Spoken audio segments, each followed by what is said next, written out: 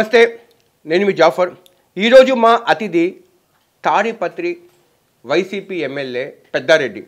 ఈ మొత్తం ఇంటర్వ్యూ అయ్యాక మీకు తెలుస్తుంది పెద్దారెడ్డి ఒక సిన్సియర్ పొలిటీషియనా లేకపోతే పెద్ద ఫ్యాక్షనిస్టా అనేది మీరు డిసైడ్ చేస్తారు. ఓకే? నమస్కారం సార్. నమస్తే. కొంత మనసుపి మాట్లాడుకుందాము పెద్దారెడ్డి గారు. ఓకే. పెద్దారెడ్డి గారు మీ ఫాలోవర్స్ చాలామంది అంటారు డ్రైవర్ని కూడా మీరు ఒరే అన్నారు అంత గౌరవంగా అంత ప్రేమగా చూస్తారు అని చెప్పి. మళ్ళీ ఇంకో వర్గం అంటారు మీరు కరడు కట్టిన ఫ్యాక్షనిస్ట్ అని. ఈ రెండిట్లో ఏది నిజము? ఇప్పుడు ఫ్యాక్షన్ అనేది అక్కడ ఉండే పరిసర ప్రాంతాలలో ఆ వాతావరణం బట్టి ఉంటుంది. డైరెక్ట్గా మాకు ఫ్యాక్షన్ ఏ రోజు లేదు కానీ ఈ పరిసరంలో ఎవరికన్నా మా అనుచరులకు కానీ మా ఫాలోవర్స్ కానీ పార్టీ ఫాలోవర్స్ కానీ ఏదన్నా వచ్చినప్పుడు వాళ్ళని మేము వెనకేసుకొచ్చుకోవడం జరుగుతుంది. అంటే జేసీ వాళ్ళు ఎక్కడ ఎక్కడ ఫ్యాక్షన్ జరిగినా కూడా ఆ కేసులలో మమ్మల్ని పెట్టడం ఒక విధమైన అనగదొక్క ధోరణిలో చేస్తుంటారు. ఆ విధంగా ఫ్యాక్షన్ ముద్ర అనేది మాకు పడింది. మీరు మీ చేతులతో మర్డర్ చేసినారా? లేదు. ఒక్కరిని కూడా? ఎప్పుడూ లేదు. బాంబైనా విసిరారా? ఆ కల్చరే లేదు నాకు అసలు. ఏంటన్నా? పెద్దారెడ్డి అంటే కింద ట్యాగ్ లేను పెద్ద ఫ్యాక్షన్ అని చెప్పి కానీ మీరు ఓ ఫాలోవర్స్కి వచ్చినప్పుడు మేము సాయం చేస్తాం వెనకేసుకొని వస్తామని చెప్తాండ కదా. అంటే మేము ఫీల్డ్లోకి పోయి చేయాల్సిన అవసరమే వచ్చింది ఏంటి? అని మీ కనుసైగలు చేసే వాళ్ళు చాలామంది ఉన్నారు కదా. కనసగలు చేయడం అనేది ఏమి లేదు అవసరం నిమిత్తం క్రైమ్ చేస్తా అంటారు. దాంట్లో ఏం తప్పేం లేదే. మేము మమ్మల్ని రక్షించుకునే దానికోసం క్రైమ్ చేయడం అనేది నా నా దృష్టిలో అయితే పెద్ద తప్పేం లేదు. కనీసం బాంబు చుడతా ఉండి చూసారన్న దూరం నుంచి అయినా కూడా? చుట్టడం అంటే ఇంతకుముందు ఫ్యాక్టరీలు ఉన్నట్లు ఉంటున్నాయి ప్రతి గ్రామంలో. ఒక పదహైదు ఇరవై సంవత్సరాలు ఉంటే ఆ కల్చర్ కూడా లేదు ఎక్కడ కూడా బాంబులతో చేసి క్రైమ్ కూడా లేదు. అన్న ఒక విషయము ఇంతకుముందు ఒక ఒక కరు సైకిల్లోనే లీడర్ కరు సైకిల్లోనే ఈ ఫాలోవర్స్ ఫ్యాక్షనిస్ట్ సంబంధించిన వాళ్ళు ఏమని చేసేస్తారు? అది ఇప్పటికీ ఆ తెగువ అంత సిన్సియర్గా ఫాలో అయ్యే వాళ్ళు జనాలు ఉన్నారంటారా? అంటే ఇప్పుడు అంటే ఇన్ఫర్మేషన్ టెక్నాలజీ వచ్చిన తర్వాత చదువుకున్న తర్వాత. అనేదంటే ఏమన్నా అదేమన్నా చికెన్ మటన్ ఏమన్నా క్రైమ్ చేసేది ఏమన్నా? ఒక మనిషిని చంపాలంటే ఎంతో ఇబ్బందికరమైన పరిస్థితుల్లో ఉంటే తప్ప మామూలు క్రైమ్ చేయరు. మీరు కత్తులు కటార్లు తీసుకునే జేసీ ప్రభాకర్ రెడ్డి ఇంటికి వెళ్ళారు మాజీ ఎమ్మెల్యే ఇంటికి. ఒకవేళ జేసీ ప్రభాకర్ రెడ్డి ఆ సమయంలో ఉండి ఉంటే చంపేసేవాళ్ళ? చంపడం ఏంటి జరుగుతుందండి? చెప్పులతో కొట్టిందాం అంతేగాని చంపేది ఏంటుకుంటుంది అతను చేసే నడవడికలు మంచివి కాదు. కానీ అవి యూట్యూబ్లో చూస్తే ఒక కత్తి పెద్ద కత్తే కాదు అది. వాని కుంటి పిల్లోడు ఎవరో ఉన్నారు యాంటీక్రాఫ్ వాని దగ్గర కట్టె తీసుకున్నాడు ఎవడో పిల్లాయన అంతే. కత్తులు తీసుకుపోవాల్సిన అవసరం ఏముంది? ఏ క్రైమ్ చేయాలనుకుంటే అతను ఎక్కడ ఉన్నాడు? ఎక్కడ దొరకడు. క్రైమ్ చేయాలనే ఆలోచన నాకు ఇప్పుడు అయితే ఎలాంటి పరిస్థితుల్లో అతనిది అప్పుడు లేదు ఇప్పుడు లేదు. కానీ ఇంటికి పోవాలని చెప్పి ఆలోచన మీదే లేకపోతే మీ కుటుంబ సభ్యులదన్నా కుటుంబ సభ్యులకి ఏముంటుంది నేను మున్సిపల్ ఆఫీస్లో ఉన్నా అందరూ ఫోన్ చేస్తా అన్నారు. ఈ విధంగా అతను పోస్టులు పెట్టిస్తాడు ఆడ కూర్చొని అది. అంటే మీరు వచ్చింది మీ మీ కుటుంబ సభ్యులకు పోస్టులు వ్యతిరేకంగా పెట్టించారు జేసీ ప్రభాకర్ రెడ్డి కదా? మీ కోపము అగ్రెషన్లకు వచ్చింది అని చెప్పి. కాబట్టి ఈ స్టెప్ మీరు వేసుకోవడానికి కారణము ఆ పోస్టులు ఒకటినా? ఇంట్లో వాళ్ళు కూడా ఒక ప్రెజర్ చేశారు క్వశ్చన్ ఏం లేదు. ఎవరేం ప్రెజర్ లేదు కానీ పోస్టులన్నీ చేస్తున్నారు కార్యకర్తలు వాళ్ళు వీళ్ళు ఫోన్లు చేస్తున్నారు. పోయినాము అడుగుదాము ఏమి ఇతని ఏంటికి నేచర్ అనేది ఏంటికి? అంటే అడగడానికి వెళ్ళారు అంతేనా? అంతే కదా. అడగడానికి పోయినాము అతను ఎంత మాట్లాడితే కొట్టిందాము అంతే. దాంట్లో తప్పే ఉంది. అంతమంది అడగడానికి వెళ్తారా? ఏం పది మంది పోయినాము. పది మంది? మా సెక్యూరిటీ కోసం చూడు కావాలంటే పది మంది అది? పది మంది ఏ వంద మంది దాకా ఉంటారు అక్కడ? లేదు లేదు. సరే మీరు పది మంది వెళ్ళారు. వాళ్ళు వాళ్ళ ఇంటికాడ ఒక కాపులు కాయడానికి ఒక యాభై మంది వంద మంది ఉంటారు. ఉండారు ఇప్పుడు పది పదహైదు మంది ఉన్నారు కదా వాళ్ళు కూడా కొన్నారు. నేను ఇంట్లోకి పోయినప్పుడు అడిగినా మాట్లాడినే వచ్చిన. వాళ్ళు ఏం మిమ్మల్ని అడ్డి అడ్డగించలేదా? ఏం మాట్లాడలే. మీరు వచ్చేస్తే వదిలేశారా? లే ఉన్నారు పక్కన నిలబడుకున్నారు అంతే. మీరు లోపలికి ఎంటర్ కాగానే వాళ్ళు ఎక్కడికి వెళ్తున్నారని అడిగారా? మీరు పోగానే ఏం చెప్పారు? ఏం అడగలే వాళ్ళు ఊరుకున్నారు. ఏం రా మీ అన్న ఆడిపోయినాడు అని అడిగినాము లేడు నాది ఇదంటే నేను కూర్చున్నా అట్లా చైర్లో కూర్చున్నా. ఉమ్. ఒక పది నిమిషాలు కూర్చుని వచ్చేసి. వాళ్ళు బర్త్డే కేక్ పెట్టుకుని ఫంక్షన్ చేసుకున్నారు మొన్న ఎందుకు చేసుకుంటారు అంటారు? యాక్చువల్గా అతను ఉనికి కోల్పోతాడు పబ్లిక్లో. ఏదో రూపకంగా సింపతి సంపాదించుకోవాలనే ఆలోచన ఒకటి అతని ఆలోచన. మీరు ఉనికి కోల్పోతున్నారు అంటున్నారు. వాళ్ళు వచ్చిందంటే మేము ఉనికి ఇంకా చాటుకుంటున్నాము. జనాల సమస్యల మీద మాకు టీడీపీ క్యాడర్ కలిసి రాకపోయినా వైసీపీ వాళ్ళు కేసులు పెట్టినా కూడా మేము ఫైట్ చేస్తూ ఉన్నాము అని ఒక అభిప్రాయం వాళ్ళు ఎప్పుడు కేసులు పెట్టినారు? అంటే టీడీపీ నాయకులు నుంచి తాడిపత్రి ఏరియాలో ముప్పై నలభై ఏళ్ళ రాజకీయ జీవితంలో ప్రజాస్వామ్యంగా ఈరోజు ఉంది. ప్రతి ఒక్క వ్యక్తి స్వతంత్రంగా మాట్లాడుతున్నాడు. వాళ్ళ వ్యాపారాలు వాళ్ళు చేస్తున్నారు. ఎవరంతా వాళ్ళు ఉన్నారు. గతంలో ఈ పరిస్థితి తాడిపిత్రులు ఉందేమో కామన్ పబ్లిక్ని అడగండి. నేను చెప్పాల్సిన అవసరం లేదు అంటే ఒకటి అన్న మనము అంటే మీ రాజకీయ ప్రత్యర్థంగా ఆలోచించండి డెబ్బై సంవత్సరాల వయసులో కూడా ఆయన కేసులు ఫేస్ చేస్తున్నారు కదా. కే- కేసులు ఫేస్ ఏంటి చేస్తున్నారు చెప్పు? ఆయన అడగాల్సినది మీరు. ఏ ఏంటికి మీరు కేసులు ఫేస్ చేస్తున్నారని? అతను దొంగ లారీలు దొంగ బస్సులు ఇన్సూరెన్స్ క్లెయిము అన్ని తప్పుడు సమాచారాలు తప్పుడు అఫిడవిట్లు అన్నీ పెట్టినుకొని అతను ఫేస్ చేస్తున్నాడు. తెలుగుదేశం గవర్నమెంట్లోనే ప్రభునంద ఆశ్రమం మీదకు పోయినారు కాబట్టి పేర్లు వాళ్ళు ఎంక్వైరీ చేసుకుంటూ దాంట్లో ఉన్న ఫోటోలలో కేసులు పెడుతున్నారు. గత ప్రభుత్వంలో పెండింగ్ ఎఫ్ఐఆర్లు అన్నీ కట్టుకున్నారు నలుగురిని ముగ్గురిని పెట్టుకొని. అది ఈ గవర్నమెంట్లో మేమేం తప్పుడు కేసులు పెట్టిండేది ఏం లేదే. మర్డర్లు చేయడంలో మీ స్కోర్ ఎక్కువ జేసీ స్కోర్ ఎక్కువ? అది ఆయన అడిగితే తెలిసింది. ఉమ్. రెండు స్కోర్ల గురించి ఆయన బాగా చెప్తాడు. ఇదేమన్నా క్రికెట్ మ్యాచ్ అండి స్కోర్లు అది ఇది అనేది? టీడీపీ వాళ్ళ అలిగేషన్స్ ఏంటంటే జేసీ ప్రభాకర్ రెడ్డి కూడా అధికారులను కలిసి ఒక రిప్రజెంటేషన్ ఇచ్చారు. మున్సిపల్ స్థలాలు కబ్జా అవుతున్నాయి. అందులో మీరు కూడా కబ్జా చేసుకుంటున్నారు అని చెప్పి. ఏంటిది? నేను ఎప్పుడన్నా కానీ కలెక్టర్కి కానీ ఆఫీసర్లకు కానీ రికమెండ్ చేసింటే అతను చెప్పాల. అతను స్వయంగా అతను కొడుకు పేరుతోనే ఎన్ఓసి తీసుకున్నాడు. ఎవరు?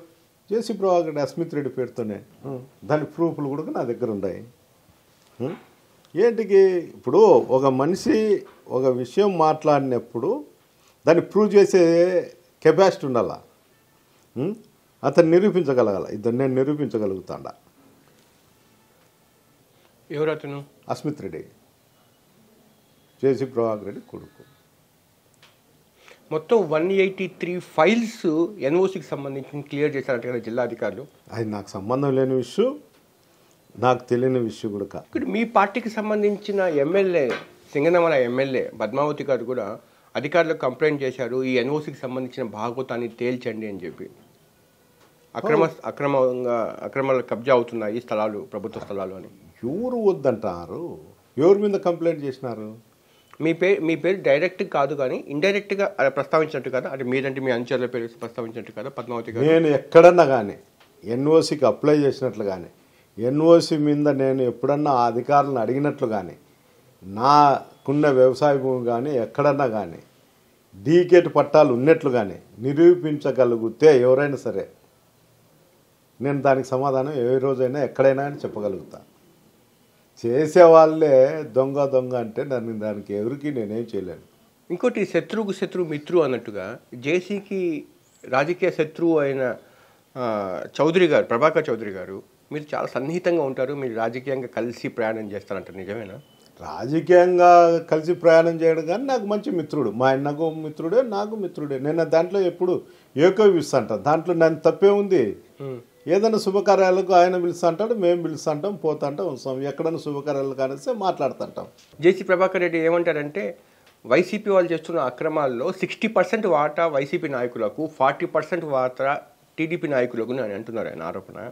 ఆ ఫార్టీ పర్సెంట్ వాటా ఎవరున్నారు సార్? అది వాళ్ళ అడిగితే చెప్తాడు. వాళ్ళన్న కా తెలుగుదేశం ఎంపీ అయినప్పుడు ఎక్కడెక్కడ ఎక్కడ పంచాయతీలు చేసినాడు ఫార్టీ సిక్స్టీ అనేది వాళ్ళ అన్నని అడిగితేనే క్లియర్గా చెప్తాను అది జేసీ దివాకర్ రెడ్డి గారు ఎంపీ సెగ్మెంట్లో ఆయన పంచాయతీ చేసినాడు చాలా సార్ల. ఆయన ఎక్కడ చేసిండేది నాకెట్లా తెలుస్తుంది? నేను ఎవరికన్నా పంచాయతీ చేసింటే నాకు తెలుస్తుంది. ఇంకోటి ఎక్కడైనా కూడా నేషనల్ హైవే అథారిటీ వాళ్ళు సెంట్రల్ గవర్నమెంట్ వాళ్ళు ట్యాక్స్ వసూలు చేయడము టోల్ గేట్ వసూలు చేయడం చూసాము. స్టేట్ గవర్నమెంట్ సంబంధించిన వాళ్ళు ట్యాక్స్ వసూలు చేయడం చూసాము. తాడిపత్రి ప్రజలకు అదృష్టమో దురదృష్టమో కానీ ఇంతకుముందు జేసీ ట్యాక్స్ ఉండింది ఇప్పుడు పెద్దారెడ్డి ట్యాక్స్ ఉంది ఈ ట్యాక్స్ ఏంటి సార్? ఈ ట్యాక్స్ గోల్ ఏంటి? నేను ఎక్కడన్నా ట్యాక్స్ వసూలు చేస్తానా అని నిరూపించగలిగితే నేను ఇల్లీగల్గా ఎవరితోనో డబ్బులు ఇప్పించుకుంటానని తెలిసిన మీరు అడగండి కామన్ పబ్లిక్ పోయి అడగండి. నన్ను అడిగేది కాదు నేను అడిగితే ఏదైనా చెప్పొచ్చులే. అబద్ధమేం చెప్పొచ్చు నిజమేం చెప్పొచ్చు? ఏంటి చేస్తాంటారా ఎవరైనా మా వెహికల్ అయితే వదులుతాంటారు అంతే తప్ప వాళ్ళతో ట్యాక్సెస్ వసూలు చేయాల్సిన అవసరము కర్మ ఏం పట్టింది? ఈసారి మీరు తాడిపత్రిలోనే పోటీ చేస్తారా పెద్దారెడ్డి గారు? లేకపోతే కాన్స్టిట్యున్సీ మారే అవకాశాలు ఉన్నాయా? ఆ క్వశ్చనే లేదు తాడిపిత్రలో ఇస్తా నేను రావాలనే తాడిపిత్రకు వచ్చిన వాళ్ళ అరాజకాలు అరికట్టే దానికోసమే మళ్ళీ అటుంటి ఇంకోసారి పోవాల్సిన అవసరమే ఉంది. కానీ మీ అబ్బాయి మీ అతను తాడిపత్రికి వచ్చే అవకాశాలు ఉన్నాయని చెప్పి పొలిటికల్ సర్కిల్ ఒక ఒక స్పెక్యులేషన్స్ ఉన్నాయి కదా. ఎవరు మా ఆయన ధర్మవరం కాకుండా ఆ ఆలోచన ఏం లేదు. మా అబ్బాయి అక్కడనే పోటీ చేస్తాడు. మా మేము ఇక్కడనే పోటీ చేస్తాము. మా నాయకుడు టికెట్ ఇస్తే అక్కడనే పోటీ చేస్తాం. పక్కన చేయాల్సిన అవసరం కూడా నాకు లేదు. ఒకసారి మీరు అధికారులకు వ్యతిరేకంగా ధర్నా చేశారు కదా కారణం ఏంటి? ఈ మధ్య కాలంలో నేను అధికారంలోకి వచ్చినాక ఎప్పుడు చేయలేదే. ఎప్పుడు ఇంతకుముందు ఎప్పుడైనా అధికారులు రిజిస్ట్రేషన్ సంబంధించిన వ్యవహారంలో ఎప్పుడైనా. ఎన్నుక వహించారని చెప్పి. నేను పుట్లూరు మండలంలో ఎంఆర్ఓ దగ్గరికి పోయినా. నాకు రిజిస్టర్ భూమిలో ఆన్లైన్ చేయకపోతే ఏంటికి చేయలేదు అని అడగడానికి అక్కడ ఎంఆర్ఓ లేదు. ఓకే. నేను తిరిగి వచ్చేసిన. ధర్నా చేయాల్సిన అవసరం నాకేముంది. యాక్చువల్గా ఇప్పుడు జనాలకు ఎలాగ ఉంటుంది సార్? ఈ కక్షలు కార్పణ్యాలు లాగా పొలిటీషియన్స్ వెళ్తూ ఉంటారు కదా? అంటే మీరు మీ అనుచరుడి మీద వాళ్ళు కేసులు పెట్టారు వాళ్ళ మీద మీ కేసులు పెట్టారు జనాలు వాళ్ళంతా రిసీవ్ చేసుకుంటారు సార్. ఇంకా ఇంకా ఎందుకు ఇంతకాలం ఈ గొడవలు అంటే కేసులు అంటే మనం చేసుకునే యాక్టివిటీ బట్టి కేసులు పెడతాంటారు. లేనోని తీసుకొచ్చి ఏం పెట్టలేరు కదా? ఓకే. చెప్పినా కదా గతంలో జేసీ వాళ్ళే కల్చర్ తీసుకొచ్చినారు కేసులు పెట్టి కల్చర్ అని మ్మ్. మేం కాదు గత ప్రభుత్వంలో ఉండే కేసులే ఈరోజు అరెస్టులు చేస్తున్నారు తప్ప ఈ గవర్నమెంట్లో జరిగిండేటివి ఏంటివి లేవు చిన్న చిన్న ఇష్యూస్ తప్ప దాంట్లో అక్రమంగా కేసులు రాసే పరిస్థితి కూడా ఈ జిల్లాలో లేదు. ఒకసారి మీరు ఈ మధ్య ఒక కాలనీలో వాళ్ళు అక్రమంగా ఉంటున్నారని చెప్పి మొత్తం కూల్చేశారంట దగ్గరుండి కూల్చారంట. ఏంటి యాక్చువల్గా ఏంటంటే ఒక నైతిక సూత్రం ఉంటుంది చట్టంలో.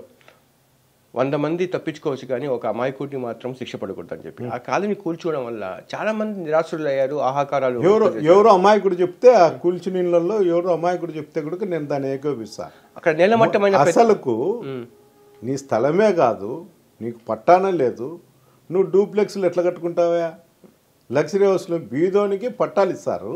ఆ పట్టాలల్లో మున్సిపాలిటీ స్థాయిలలో ఎట్లా కట్టుకుంటారా అవి ఉండకూడదనే కొట్టిన. దాంట్లో ఎక్కువ పర్సెంట్ మా పార్టీకి సంబంధించిన వాళ్ళు కూడా ఉన్నారు. ఏం జేసీ ప్రభాకర్ రెడ్డి మాదిరి మున్సిపాలిటీ స్థలాలన్నీ ఆక్రమించి దేవలాలు ఎస్సీ స్థలాలలో కాంప్లెక్స్లు ఇవన్నీ నేను కట్టిలేదే. ఆయన చైర్మన్ కదా రమ్మను. ఆయనకి ఏ అక్రమ కట్టడాలు ఉంటే నేను సహకరిస్తా కొడదాం రమ్మను. ధైర్యం ఉంటే. అతనికి ధైర్యం ఉంటే ఉండేటివన్నీ అతని అనుచరులవే. అక్రమ కట్టడాలు ఎస్సీ సైట్లవి అన్నీ ఉండేది. ఓకే. అతను అది తుడుపుకోవడానికి కోసము ఎవరి మీద నిందలేసి ఏదో కలెక్టర్ ఆఫీస్కి పిటిషన్ ఇచ్చే నా మీద అంతా నిందలన్నీ పోతాయని ఆలోచన చేస్తే ఎట్లయితుంది అది? సార్ మీకు ఆయనకి ఏదైనా వేరే బంధుత్వాలు ఉన్నాయా అని చెప్పి? అని చెప్పి. ముందుగానే కలిసి ఉండేవారు కదా లాంగ్ బ్యాక్ ఇంత ముందు ఎప్పుడు జేసీ ఎప్పుడు లేదు మా బ్రదర్ ఉన్నప్పుడు కొద్ది రోజులు ఉన్నాడు. నేనైతే ఎప్పుడు వాళ్ళతో కలిసి ఉండే పరిస్థితి కూడా లేదు. కలిసి ఉండే పరిస్థితి కూడా రాదు. ఈ మధ్య ఆయనకు ఆయన ఖండిస్తూ ఉన్నాడు అప్పటికి. ఆయనకు వ్యతిరేకులు కొన్ని వార్తలు రాయిపిస్తూ ఉన్నారు. నాకు వ్యతిరేకులు ఆయన పార్టీలో ఉండేవాళ్ళే అని చెప్పి వైసీపీలోకి వైసీపీలోకి వెళ్ళిపోతారు వెళ్ళిపోతారు అని చెప్పి. నిజంగా అలాంటి సిచ్యువేషన్ ఉందా? వైసీపీలోకి వెళ్ళే అవకాశాలు ఉన్నాయా? అయ్యో ఎవరు రాయిసారయ్యా ఎవరికి అవసరం ఉంటే వాడు వాడు ఈ అక్రమాలు చేసే దాంట్లో ఇంకో దాంట్లో బయటపడాలనే దానికోసం వాళ్ళకు ఎవరికి అవసరం ఉంటే వాడు ఎవరినన్నా పట్టుకొని రాయించుకోవచ్చేమో కానీ వాళ్ళను వైసీపీ పార్టీలోకి అడుగు గుడక పెట్టినారు. వైసీపీ పార్టీ కార్యాలయాలకు కూడా అడుగు పెట్టినారు. ఆయన వస్తారా? అలాగ ఉందా ఆ వాతావరణం? ఆ వాతావరణమే లేదు. కనీసం వాళ్ళు ఏదైనా ట్రయల్స్ చేసుకోవడం కానీ వాళ్ళని అప్రోచ్ అవ్వడం కానీ మీకు తెలుస్తుంది చేస్తా ఉండొచ్చు ప్రభాకర్ రెడ్డి బావడిది మా పార్టీలో ఎమ్మెల్యే నెల్లూరు జిల్లా ప్రసన్న కుమార్ రెడ్డి. నల్లపరెడ్డి ప్రసన్న కుమార్ రెడ్డి. అవును. ఆయన కూడా ఆయన చేయొచ్చు. చాలా మంది అతనికి రిలేషన్ ఉంది. అట్లా వాళ్ళతో చేస్తా ఉండొచ్చు చేయలేడు అని మనం ఎట్లా చెప్పగలుగుతాం? దానికి మా నాయకుడు ఒప్పుకోవాలి కదా అంటే. ఎవరు ఎన్ని చేస్తానే మా నాయకుడు. ఒప్పుకుంటారా లేదా సెకండరీ ఫస్ట్ ఒక అటెంప్ట్ జరిగిందా అటు నుంచి? ఆ అటెంప్ట్ ఏం జరగలే. నాకు తెలిసి అయితే జరగలే. అటెంప్ట్ జరిగితే కన్సిడర్ చేసే అవకాశాలు లేవు మీకు కాదని చెప్పి. కాదు. అతనే చిన్న తప్పులు చేసినాడా? క్షమించరాని అన్ని తప్పులు చేసినాడు. ఏంటది? ఏంటికి సాక్షి ఆఫీస్ ముందరికి మా నాయకుడిని తిట్టా కుటుంబాన్ని తిట్టా మళ్ళీ ఈ మధ్య కూడా మాట్లాడుతున్నారు వాళ్ళ అన్న మాట్లాడుతుంటాడు. స్టేజీల మీద చంద్రబాబు ముందరనే అలాగని చెప్పి వైఎస్ వైఎస్ జగన్మోహన్ రెడ్డి గారికి ఇంత ముందు గతంలో బాగా తిట్టిన వాళ్ళు కూడా ఈరోజు మళ్ళా మీ గవర్నమెంట్లో మీ పార్టీలో చేరి ప్రముఖమైన స్థానాల్లో లేని వాళ్ళు లేరా అంటారా ఉండొచ్చు నేనేం లేదని చెప్పడంలే. వీళ్ళు ఎట్లాంగు వీళ్ళకి అవకాశం ఇచ్చే ఇంకా పద్దం లేచినప్పటి నుండి పైరవీలు తిట్లు తిట్టరాలు తప్ప ఉంటాయి. జేసీ పవన్ కుమార్ రెడ్డికి జగన్ గారికి సంబంధాలు ఇంకా ఉన్నాయంట నిజమేనా? ఏందుంటుంది సంబంధం చెప్పు? వాళ్ళిద్దరు ఏమో క్లాస్లో చదువుకున్నారా? ఓ స్కూల్లో చదువుకున్నారు? ఏం చదువుకున్నారు? యాన్న బజార్లో పరిచయం. ఆ విధంగా స్నేహం ఉంటుంది. అంతే తప్ప ఇద్దరే క్లాస్మేట్స్ కాదు ఓ స్కూల్లో చదివిన వాళ్ళు కాదు ఒక ఊరోళ్ళు కాదు. మా దగ్గర ఉండే నాయకుల పేరులో లేకపోతే ఇంకోరి పేరులో వాడుకొని వాళ్ళు సర్వే అవుతున్నారు ఎలా వాడుకుంటున్నారు? అదే ఇట్లనే ఇప్పుడు మీరు అడుగుతున్నారు కదా జగన్మోహన్ రెడ్డి గారికి పవన్కు పరిచయాలు ఉన్నాయంట కదా అని. ఆ విధంగానే ఇంకోటి వైసీపీ సంబంధించిన ఇంటర్నల్ సర్వేల్లో ఇప్పుడు ఎవరైతే క్యాండిడేట్ ఎమ్మెల్యే క్యాండిడేట్ ఉన్నారో వాళ్ళందరితో సేమ్ ఎలక్షన్ ట్వంటీ ట్వంటీ ఫోర్కి వెళ్తే ప్రతికూల ఫలితాలు వచ్చే అవకాశాలు ఉన్నాయని చెప్పి అంటారంట. నిజమేనా అది? మాకు అనుకూలంగానే ఉంది వాతావరణం. కానీ పథకాలు ఎన్నో ఇచ్చినాము. నైన్టీన్లో ఉన్న వాళ్ళకి మళ్ళీ టికెట్ ఇస్తే ఓడిపోతారు ఎక్కువ మంది ఉన్నారంట. సర్వే చేయించుకుంటాడు. నాయకుడు అనేవాడు పార్టీ స్థాపించినోడు సర్వే చేయించుకుంటాడు. సర్వే జరిగిందంట కదా. జరుగుతుంటే లీడర్ ఏం చెప్పాడు కదా నీకు తీసేస్తాను నీకు పెడతా అనేది.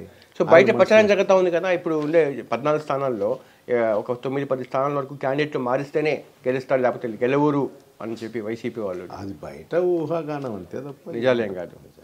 అలాంటి చర్చలు ఏం జరగలేదు. జరగాలి ఏది ఉన్నా ఇంటెలిజెన్స్ అనేది ఒకటి ఉంది. సొంత సర్వేలు చేయించుకునేది ప్ర- ప్రక్రియ ఉంటుంది. దాన్ని అన్నీ పరిగణనలో తీసుకునే చేస్తారు తప్ప ఎవరినంటే వాళ్ళని పీకి ఎవరినంటే వాళ్ళని పీకి చేయాల్సిన అవసరం కూడా ఏమి ఉండదు కదా. దండాలు ఎమ్మెల్యే గారు మేము అవకాశం ఇచ్చినందుకు. థ్యాంక్స్ అండి. ఇది పెద్దగా జరిగిన స్మాల్ చిట్ చాట్ చూస్తూనే ఉందండి. సుమన్ టీవీ.